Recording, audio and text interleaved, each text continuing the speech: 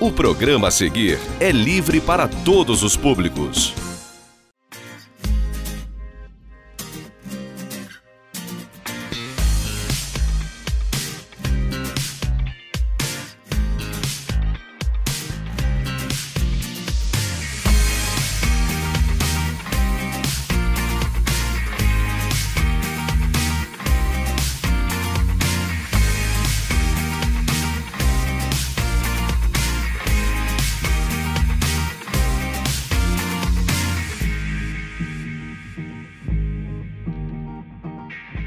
Gente, hoje nós vamos falar de um tema super importante que interessa muito a todas as mulheres. Vamos falar de feminicídio.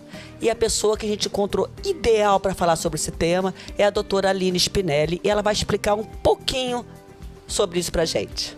Tudo bom, doutora? Tudo ótimo, Geis. Um prazer. Estar Prazer com é. Uma mulher tão linda Ah, e tão a competente. fala? A quem fala? Aline, doutora Aline, me conta uma coisa. É, o que é o feminicídio? Feminicídio é o assassinato de uma mulher em razão do gênero, em razão do que ela carrega por ser mulher. Isso pode acontecer numa esfera de violência doméstica, né? De violência de afetiva, né, de convivência marital ou com um ex-marido, com um ex-companheiro, ou também não precisa ter convivência ou relação amorosa. Uma mulher pode ser vítima de feminicídio, até podemos depois falar sobre o caso de transexuais, mas uma mulher, ela pode ser vítima de feminicídio por diversas razões. Ela pode ser odiada por um colega de trabalho por ter recebido uma promoção, por exemplo. Ela pode ser vítima de feminicídio por ter ocupado uma posição de destaque ou uma posição é, de poder numa relação que pode vir a ser de trabalho ou política, ou por conta de também separações e recebimento de pensão alimentícia. Lembra do caso do goleiro Bruno, que foi claro, condenado, claro, uma agressão. né? É, ali era por conta do gênero, era por conta da condição de mulher, da vulnerabilidade, né? A gente precisa ter muito cuidado ao diferenciar o feminicídio do femicídio. O femicídio, como o homicídio, é a situação de assassinato, de crime doloso, onde há intenção e não culposo, um crime doloso contra a vida de uma mulher. Isso é o femicídio. Ali, a vítima não carrega aquelas características que são exigidas para a tipificação do crime de feminicídio. Esse crime de feminicídio, ele foi criado pelo legislador em 9 de março de 2015 e entrou em vigor no dia seguinte, no dia 10 de março de 2015. E vem agora protegendo a nossa sociedade, a nossa mulher, do que vem ocupando o quinto lugar. O Brasil ocupa o quinto lugar no ranking do país que mais mata mulher em função do seu gênero e das condições estabelecidas ali pelo artigo 121 e seus parágrafos. Você acha de a gente ser o quinto, que isso aí me assustou agora no mundo, é, tem a ver com a nossa cultura? Muito a ver com a nossa cultura. A gente vem de uma cultura muito machista. Não estou carregando aqui bandeira Não, nenhuma, nenhuma. De, nem de feminismo, nem de nada. Mas a gente foi, assim, nós fomos criados, né, numa sociedade machista de homem provedor, desde o homem das cavernas, né, que vinha caçando para alimentar a esposa, a prole, o, o patriarcado, é a novela, tanto da Rede Globo como das outras televisões. Se a gente for fazer uma análise das últimas décadas, os protagonistas, os heróis, sempre, ou na grande maioria, são homens. Infelizmente. Homens provedores, homens com poder de decisão. O poder de decisão é uma coisa emblemática e sintomática quando a gente vai estudar o feminicídio. Dê o poder e verá quem é. Exatamente. E a nossa sociedade, nós todos, vê, assim, a gente está acostumado a ter o marido como tomador das decisões, a ter o homem como presidente da empresa. E com essa mudança, é, não só tecnológica ou cultural, essa, essa posição de empoderamento, uma expressão até já muito usada, está desgastada, né, equivocadamente.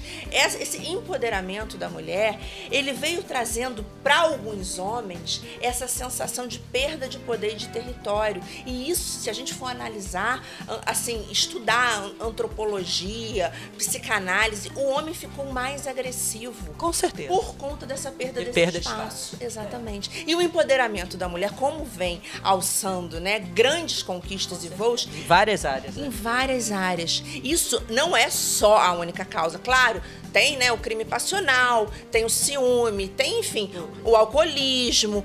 A droga. A droga. É, o que você falou sobre o machismo e sobre a cultura. É, a gente também tem aqui que olhar com um pouco de cuidado para os nossos homens. Eles não são também, isso que a mídia quer vender, todos cruéis e bandidos. O homem também veio de uma criação que muitas das vezes não recebeu carinho, não recebeu aconchego. E como que uma pessoa que não recebeu vai dar? Então, é uma série de fatores que a gente precisa levar em consideração e cuidar não só no casamento, como nas relações interpessoais. Tem uma coisa muito interessante que minha mãe falava, gente, que eu acho assim o um máximo. Mãe falava assim: minha filha, você conhece o homem, quando você conhecer alguém, você conhece o homem, pergunta como ele trata a mãe dele. Veja como ele trata a mãe dele. Se o homem trata bem a sua mãe, ele vai te tratar bem. E eu acho isso impecável, fundamental. Fantástico.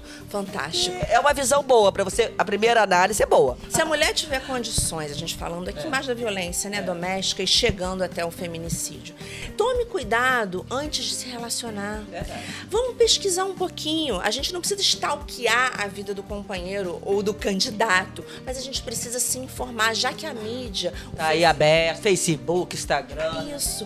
Ou claro, se você tiver condições de. Rede de amigos. Exatamente. Conta muito não só os amigos, mas também buscar informações se o seu companheiro ou o seu namorado, se ele já respondeu por um crime de agressão, de agressão se ele já foi enquadrado na Lei Maria da Penha, se ele já respondeu tendo medida protetiva, né? Aí corre. Aí eu sugiro que você tome bastante cuidado. Né? Claro, a gente não pode condenar uma pessoa porque ela está respondendo a um processo. A gente tem que levar em consideração o devido processo legal, a ampla defesa, o contraditório. Não estamos pré-julgando, a gente está só sinalizando. É claro que ele pode ser absolvido e tem uma coisa, Geisa, muito importante. É eu advogo tanto para vítimas como também para supostos autores. E a gente tem que tomar muito cuidado com a denunciação caluniosa, com o crime de calúnia Verdade. e com a falsa comunicação. Isso tem muito também, né? Muito. Muitas mulheres começaram a usar a Lei Maria da Penha, uma lei maravilhosa, a usar a delegacia da mulher e aí o judiciário como instrumento de vingança, como instrumento de. Com certeza Benefício próprio. Benefício financeiro como moeda de troca para se vingar do companheiro ou do ex-companheiro. Então tenhamos muito cuidado antes de etiquetar esse ser, essa pessoa, como um violento ou como um autor de violência. Mas a mídia e a estatística têm demonstrado que, na grande maioria dos casos, a mulher é sim vítima. Eu tive a oportunidade de fazer uma entrevista que, por acaso, muito interessante lá na delegacia da mulher, tá? Até um abraço aí para a delegada, que é uma pessoa maravilhosa. E ela me sinalizou algumas coisas que eu achei muito interessante, sabe, Aline? É, para a mulher não chegar nesse fim, no feminicídio. Que hoje a mulher ela é agredida, ela vai lá e faz a denúncia. Aí passa um tempo, a mulher tira, né, vai perante o juiz, tira esse processo, por quê? Ela volta para o marido. Ela diz que o maior caso é esse. As mulheres acabam voltando para o marido e aí acaba nesse resultado do feminicídio. O que, que você diria disso? Olha, a Lei Maria da Penha, ela não permite que a mulher ela retire a acusação, né? Em sede policial. Sim. Uma vez registrada a ocorrência, ela vai ter que usar, esperar a audiência de instrução e julgamento, a audiência lá com o juiz, para poder retirar. retirar. Isso já é também uma medida de permitir um controle, porque senão qualquer pessoa que, que não goste do companheiro que tenha brigado vai lá e registra uma ocorrência muitas vezes leviana.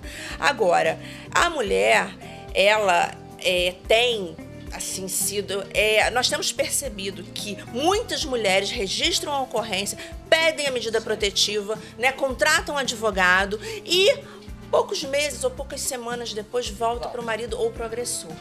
E aí, quando chega na audiência, ela fala: Ah, doutor juiz, excelência, eu acabei dando uma segunda chance, ele se redimiu, nós voltamos, eu gostaria de retirar a acusação e eu não faço mais, é, eu não peço, não tenho mais desejo de manter a medida protetiva, até porque os dois né, é, feriram e feriram a medida protetiva, porque a esposa que volta para casa tendo medida protetiva, ela está errando, ela está desrespeitando uma decisão judicial. E o marido também, e ele pode inclusive ser preso. Verdade. Então eu acho que precisa ter esse carinho também consigo. As mulheres precisam se amar mais. E outra coisa muito interessante que foi falado também, que eu acho bem interessante a gente citar aqui, que leva a esse fim trágico, é que muitas mulheres precisam se amar e que a agressão não é só física. Que muitas vezes a agressão psicológica consegue ser pior do que a física e leva também a esse fim trágico. Fala um pouquinho disso. Olha, a agressão psicológica, eu entendo, até por experiência do, de escritório de sala de aula, que a agressão psicológica, ela por não, ter, não poder ser detectada, né? Você recebe, passa uma noite chorando, vomitando, é, sofrendo tortura psicológica, sendo xingada, sendo humilhada pelo seu companheiro ou companheira. No dia seguinte você vai trabalhar, as pessoas não vão ver o seu, o seu rosto machucado, o seu braço cortado, a sua perna quebrada, mas aquilo ali dentro de você, essa opressão, é, essa degradação de todo o seu sistema imunológico e psicológico pode levar a uma série de doenças, pode levar também a um suicídio, pode levar a um câncer, como eu falei. E a violência psicológica é muito mais difícil de ser provada na delegacia e no judiciário. Você precisa de você precisa de laudos. E isso a gente não tem como abraçar e adivinhar que a mulher está sendo vítima. Por isso que ela precisa buscar atendimento psicológico, religioso. A igreja, a nossa religião, ela contribui muito, né? O padre, o pastor, a figura religiosa que nos recebe bem, a casa que dá apoio às mulheres, as amigas e principalmente atendimento psicológico. É um luxo, a gente sabe que é muito caro, né, para a grande maioria das pessoas, mas o próprio judiciário e a própria delegacia pode indicar uma casa que você busque esse auxílio. A mulher ela precisa se fortalecer muito para conseguir enfrentar um processo, um processo onde se discute violência doméstica e separação e medida protetiva. Doutora Aline, gratidão, obrigada, porque eu tenho certeza que isso aí foram informações maravilhosas. Eu gostaria de deixar a palavra final, né, para essas mulheres que estão te assistindo, que com certeza querem ouvir uma coisa boa, um, um recado que possa ajudá-las. Essas mulheres que hoje possam estar passando por essas agressões, possam estar passando por agressões psicológicas, enfim. Mande seu recadinho. É, minhas queridas, eu, como advogada, como professora de direito penal e principalmente como mulher, eu digo a vocês: vamos sempre nos dar as mãos, vamos buscar acolhimento, seja na amiga, na mãe, na delegada, na juíza ou no juiz com a pastora, com qualquer pessoa que traga um aconchego e uma sensação de segurança. A partir do momento que a mulher se sentir um pouco mais segura, ela vai se sentir apta para denunciar o seu agressor. Para isso, ela precisa buscar ajuda. Busque um psicólogo, busque todas as pessoas e profissionais sérios que tenham realmente um reconhecimento na sociedade como um profissional sério, para que você tente evitar o pior, que é o feminicídio. Tá ok? Um beijo para vocês. Gente, olha só. Peça ajuda. de dê bobeira não, tá bom? Bye, bye.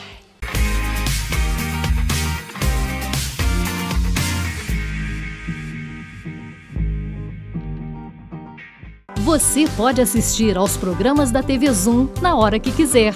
Pode também acompanhar ao vivo a nossa programação Baixe grátis o aplicativo TV Zoom no seu celular ou no seu tablet e envie o seu vídeo para o nosso jornalismo.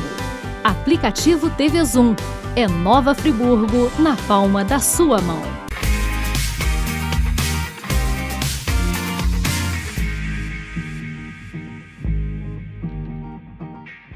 Gente, olha quem que eu achei aqui. André, eu tô procurando André há muito tempo. André, me explica o que, que é isso aqui, André? Isso aqui foi um trabalho que eu inventei, foi na Copa, né? Na Copa do Mundo tava surgindo. Aí então eu comecei com os três bonequinhos e hoje o pessoal foi jogando na televisão, no jornal. Aí hoje virou um quebra-cabeça, entendeu? E Aí, esse então... é a sua ferramenta de trabalho? Hã? Isso é a sua ferramenta de trabalho? Você Isso, trabalha de isso. bicicleta? Chuva, sol e eu tô, né? Onde o pessoal me vê na rua pode crer que é André que tá passando. André, tem quanto tempo isso? Vai fazer, fez quatro anos, fazer quatro anos. Qual foi o primeiro bonequinho que você colocou aqui, me mostra? Lembra? Foi esse aqui, o Edmundo. Gente, vamos, vamos pegar o Edmundo aqui. Cadê o Edmundo? Esse aqui tinha um goleiro também, o Zé, que até sumiu daí. Gente, olha o Edmundo aqui, gente. Edmundo tá vivo? Joga futebol ainda? tá, agora só tô é, comentarista agora. Agora me mostra qual é o último que você colocou aqui. O último que eu coloquei, tan, tan, tan. Você lembra? Peraí, foi essa semana. O último que eu coloquei esse daqui foi esse painel aqui, que eu acho. Rapaz, você vai ter que pegar aqui, cinegrafista, ó. Olha que painel show de bola ali, ó. Aqui, tem lugar pra colocar mais coisa? Aí pra Copa agora tem que entrar mais produto aí, tem que entrar mais brinquedo aí. Agora me explica uma coisa. Você faz entrega com essa bicicleta. Aonde você coloca os pães, os queijos? Onde você coloca? Coloca aqui dentro, tem um baú aqui. Vamos abrir pra ver? Eu quero ver esse baú. Eu quero ver tudo, André. Rapaz, olha o que que é isso? Eu vejo o André passando, eu falei, meu Deus, que louco é esse, gente? Achei o maluquinho. Achei. Que de maluquinho não tem nada, é um trabalhador, cara bacana, do bem, sangue bom, arrebenta de trabalhar, mas assim, nesse bom humor e nessa alegria que não tem preço. Aí, tá? Ó o baú. E olha, gente, você sabe o que, que eles entregam, vocês não vão acreditar. O pão do Chechel. É, é, só, só podia ser.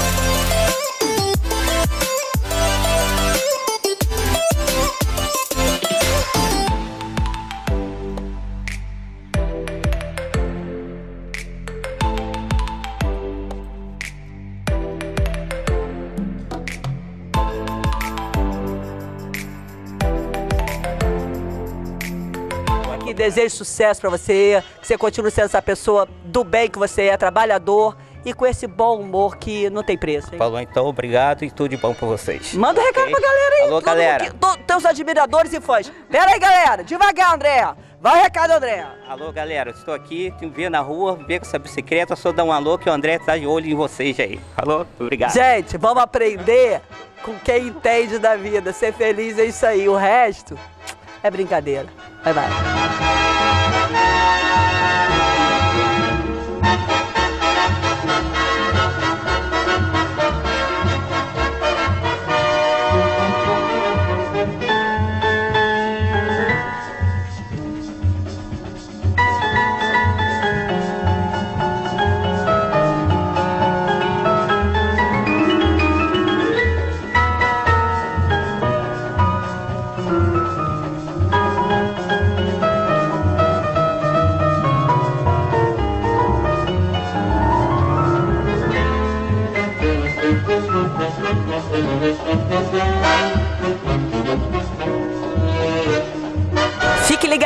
Simplesmente moda, volta já!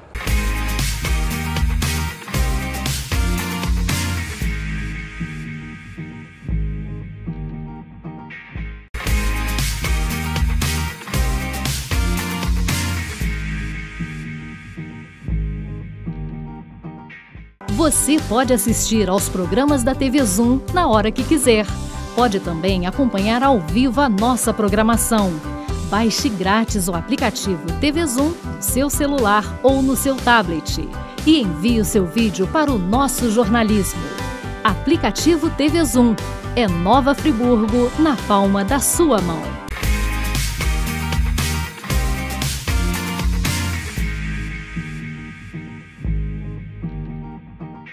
Hoje nós estamos aqui na PAI e nós viemos saber como funciona essa instituição e como nós, friburgueses, podemos atuar e ajudar a instituição. Vem comigo. Gente, nós estamos aqui na PAI com essas duas pessoas maravilhosas. Dorinha, essa figura super conhecida, e o Léo, que vai falar um pouquinho dessa parte cultural da PAI. Mas antes a Dorinha vai contar pra gente, contar um pouquinho da história da PAI né? Porque acho que tem algumas pessoas que ainda não sabem como surgiu e qual é a finalidade. Tudo bom, Dorinha? Conta pra gente, fala sobre a PAI. Manda seu recado. É, surgiu da, da vida que eu tenho, né? Que eu tive ter um filho especial e eu estava me sentindo muito sozinha, precisava me, me juntar aos meus, né?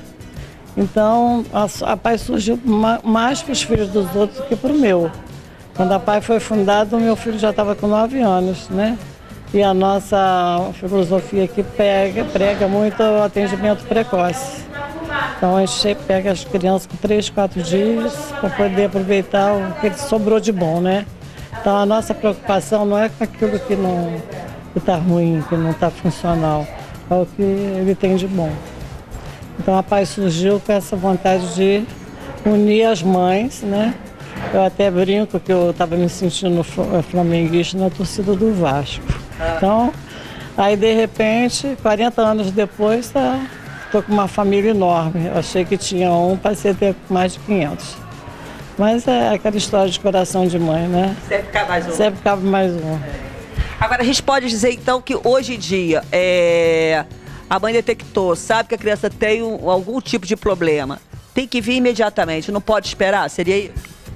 Olha, normalmente a gente já percebe na, na hora que faz a punção para fazer o teste do pezinho. Fora isso, até três anos a pai está aberta. Depois já fica mais difícil, porque a nossa proposta é exatamente começar o mais cedo possível, né? Quando tem vaga na escola, ainda é mais fácil você conseguir, se for deficiente para a escola especial. Porque ele entra para a escola e vai, com o tempo, conseguir uns outros atendimentos, né? Mas é muita criança para pouco terapeuta e pouco dinheiro para contratar mais. No início a gente tinha como missão amor e trabalho, que sem amor você não consegue nada nunca. Depois nós começamos a aumentar amor, trabalho e inclusão. E de três anos para cá a gente colocou amor, trabalho, inclusão e capacitação. Que quem vem para cá, que às vezes acabou de se formar e tal, precisa fazer estágio, ou vem porque tem algum tipo de problema, então tem afinidade com a causa, ele sabe muito quando ele vai embora. E às vezes para ir embora é um sofrimento, né? Quando vai, volta, você acredita? Muitos saem naquela fase que está precisando ganhar mais instituição, nunca paga tão bem, né? E, mas ela reconhece que ganhar não é só dinheiro, ganhar é a prática, né? O conviver com a diferença. Quem não quer pegar um bebezinho e acompanhar durante anos? Então eu fico, sofro muito no dia do pagamento para ter maior consciência. Quantas pessoas já passaram por aqui para ter pelo menos seis meses de, de estágio para poder entrar numa universidade no exterior. Agora eu vou conversar com meu amigo Léo aqui. Léo, aproxima aqui um pouquinho de mim, vou catar o Léo aqui. O Léo é aquele que traz alegria e faz bagunça cultural com a garotada, não é isso? Léo gosta de uma bagunça, gente. Léo, você tá com um troféu aí na mão, quero que você conte. Primeiro me fala do seu trabalho e fala desse troféu. Então, boa tarde aí, pessoal aí. É, eu sou professor de artes aqui, eu trabalho com artes, né, a parte cultural, artística da PAI, assim, um pouco com a música, teatro, artes plásticas, É, e a gente de vez em quando participa dos festivais. E tem uma galera aqui muito bom, muito boa, assim, né, artisticamente falando. São, a gente descobre cada talento aqui que surpreende. Eu conheci o Uber e me surpreendi aqui em dois minutos. Então, então tem vários. E aí a gente participou recentemente, falando do troféu, do, do Festival Estadual Nossa Arte, que é um festival do movimento apaiano. Isso acontece a nível nacional, cada estado faz o seu festival, né, o estadual, e tiram-se os primeiros lugares de dança, dança folclórica, música, teatro, artes plásticas, é, artes visuais, artesanato, poesia também, literatura, que vão representar o seu estado no, no Festival Nacional. Nós tivemos em 2007, assim, a, a sorte de ter, ter. Foi o primeiro festival que nós participamos Tiramos em primeiro lugar e fomos para Beto Carreiro hoje, ficamos lá uma semana, participamos, nos apresentamos. Não tivemos uma boa assim, classificação entre os primeiros, que era, era. A gente era muito novinho, tudo novo. Só participar é muito bom, né, Léo? Nossa, e a gente aprendeu muito com as, os trabalhos que são realizados nas APAs é, de outros lugares do Brasil, assim, que você fica nossa, é de chorar mesmo, é emocionante. Você vê cada coisa, dança de cadeirante, umas coisas assim lindas, lindas, lindas. E aí, depois em, em 2016 a gente participou, a gente fez sempre participando. Às vezes tiram, não tira, não consegue um primeiro lugar, enfim, segundo, terceiro. A gente sempre fica alguma coisa assim, segundo, terceiro. Pra ter a classificação boa. É. E aí, dessa vez, é, ah não, foi em Barra Mansa 2016 que nós ficamos em primeiro lugar com música, primeiro lugar com arte cênica e segundo lugar com dança. Então, música e teatro foi para Recife, lá em Olinda, a gente representou o estado do Rio. O nacional. Nacional. É, participamos do festival no Teatro Oscar Niemeyer. Levamos música, teatro, dança folclórica, dança e artes, artes visuais. E aí tivemos a alegria, a felicidade de ficar em primeiro lugar na Artes Cênicas com a homenagem ao Charlie Chaplin, né? São sete alunos da PAI, são, tem meninos, meninas, é, alguns com síndrome de Down, outros com deficiência intelectual, mas no palco você não vê nada disso, só, só vê a, a bela interpretação de cada um. Léo, como é que é? Como que é trabalhar é, com essas crianças? Especiais? Pois é, eu, eu vou fazer 20 anos já que eu tô na PAI. Então, assim, é, até eu estava conversando com o professor Rodrigo que a gente falou, ah, a gente já tem mestrado, doutorado, tudo já o quê? Assim, é, é, sempre um desafio, mas aí quando a gente faz, cara, com amor, com trabalho, assim, seriedade, é, é eu acho que, assim, a, o que a gente ganha, a gente, você está falando de valor, de às vezes pagamentos aí, a gente que, assim, eu, eu, sou, eu trabalho em duas instituições de Friburgo que eu tenho o maior orgulho de dizer que eu trabalho e sou muito feliz porque é, confio no meu trabalho e eu também, sabe, acho que eu, eu aprendo muito com essas crianças. Até essa, essa, esse teatro que a gente ganhou foi um aluno que lá em Recife, ele sugeriu, poxa, Léo, vamos fazer o próximo teatro de Charlie Chaplin? Falei, ótima ideia. E começamos, aí fizemos um mergulho na vida do Chaplin, assistimos os filmes, fomos selecionando as cenas, trilha sonora, roupa, figurino, é, cenário, foi, fomos pensando e montamos assim. Então foi uma coisa que a pessoa. Vê, conjunto, né? Vê o resultado final. A gente quer levar uma mensagem, a gente quer. Inclusão, que, realmente. Exatamente. A arte como ferramenta de inclusão dessas crianças. Pra cá e pra pai. Bye, bye.